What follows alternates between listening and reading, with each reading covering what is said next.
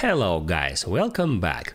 In this video I'm going to show you how you can easily set recovery email for your Telegram account.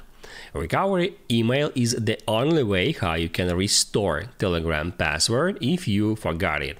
So be sure to watch the video to the very end and you wouldn't make any mistakes.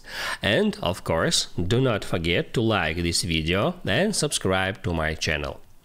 So let's begin and uh, first open up Telegram app. On Telegram, right here, you can tap on settings and uh, there you can easily find privacy and security. Just get into it. And then towards the very top of the screen you can easily find two-step verification feature. If you want to set recovery email you have to turn this feature on first. I did that before so I can get into it. On that step it asks to enter current telegram password. There just underneath the password you got a hint.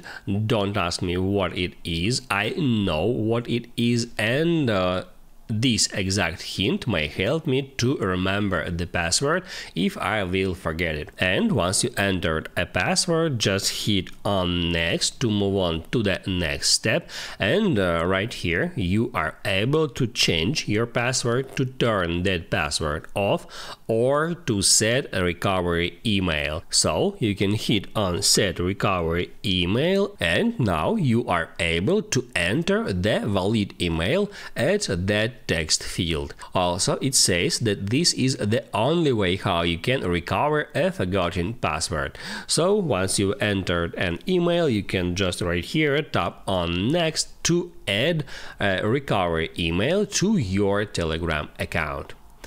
Now you can write down in the comments below if you have any questions about that tutorial and also I recommend you to check out my Telegram tutorials playlist, which you can easily find in the description. Hit the like button if you liked that video and see you in the next one.